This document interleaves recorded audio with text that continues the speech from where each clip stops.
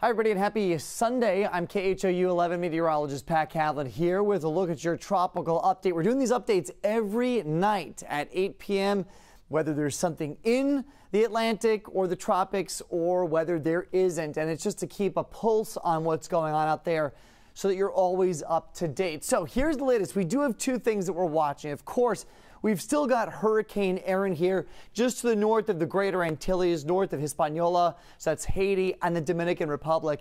And then behind it, I mean, thousands of miles back to the east, we've got another tropical wave that just came off the west coast of Africa. This has now been bumped up to 40% odds of development within the next seven days. So we're still about a week away from this thing being impactful to any area.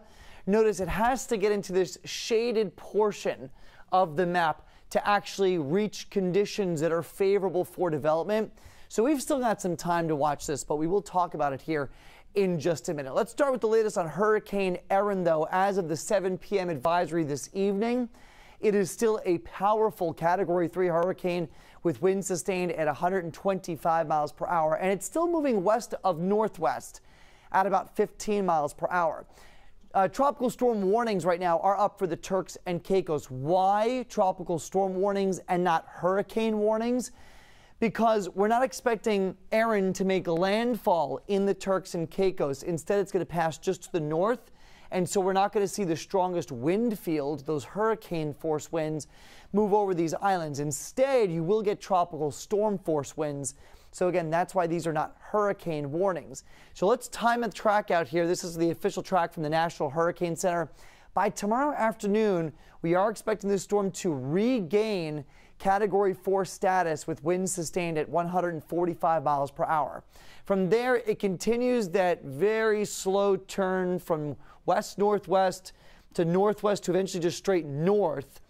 And then somewhere around the Carolinas here, between the Carolinas and Bermuda, we start that northeast turn out to sea. So Erin's still expected to thread the needle here between the eastern seaboard and Bermuda, which would really just be quite the twist of fate and a great twist of fate that this storm gets so powerful but never ends up impacting any areas of land.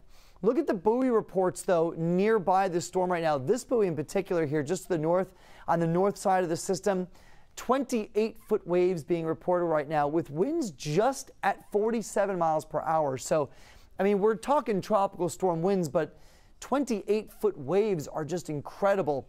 Uh, and that just has to do with the power of the storm. And you can see in the last few frames here that eye now starting to clear out. Through the course of the day, the eye has pretty much been covered over uh, as it's gone through what's known as an eye wall replacement cycle. Now that that eye is starting to clear out, I think through the overnight we're going to see the storm re-strengthen and eventually get to Category 4 status for tomorrow. Down through the Antilles, waves not too bad, 5 to 7 feet. And again, the wind is moving offshore, for, so we're not expecting any major swells here on the north side of the islands. And then 14-foot waves on that buoy uh, well to the east of the center of circulation.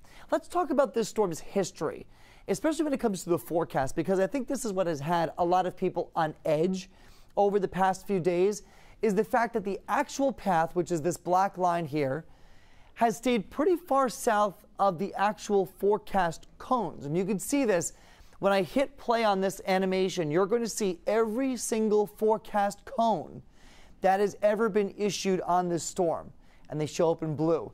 And notice how that black line has really stayed consistently on the southern edge of that envelope of those forecasts.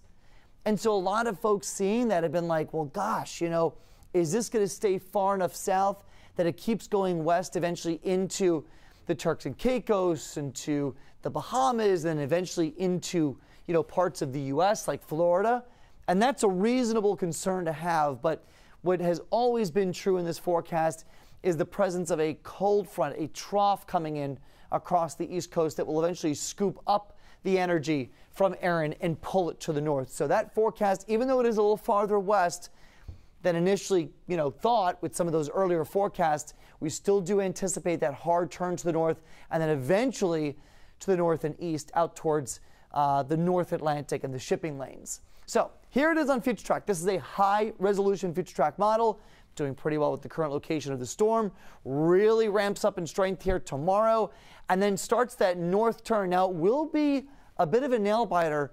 I think for the um, the outer banks here of the Carolinas. That said, I don't think we see direct impacts, but you're going to see some really strong winds here and also some big swells. We're talking about huge waves and probably some beach erosion uh, from the mid Atlantic all the way down through the Carolina coast before Erin takes that sharp turn off towards the north and east. And you can actually see it here with all of the model plots. So we take all the different computer models that we have for this system and we tweak certain things in those equations until we get minorly different outputs.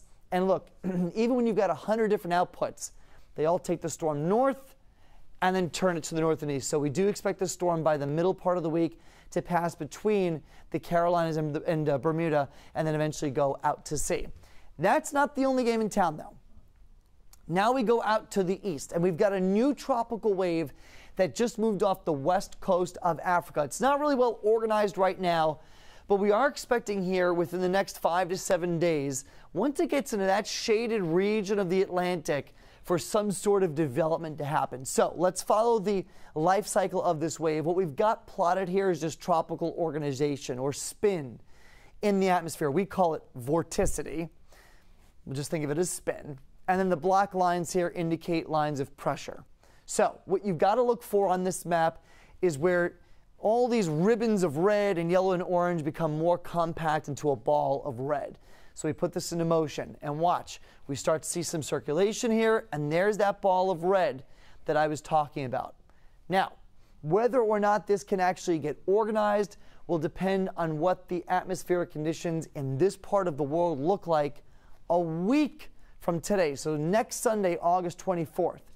However, by that point, it will be in our backyard, right? It'll be just to the north of the Caribbean here, again, getting close to the Turks and Caicos and the East Coast. So that will be the next system to watch as we go through the next week. And this is just all a reminder that we're getting close to the peak of hurricane season. We're not even there yet, right? So today is August 17th. The peak of the season is still three weeks away, September 10th. Okay, that's when we climatologically or historically see the highest number of hurricanes and tropical storms. That's just an average. Does that mean that we could see it more backloaded towards October? Absolutely.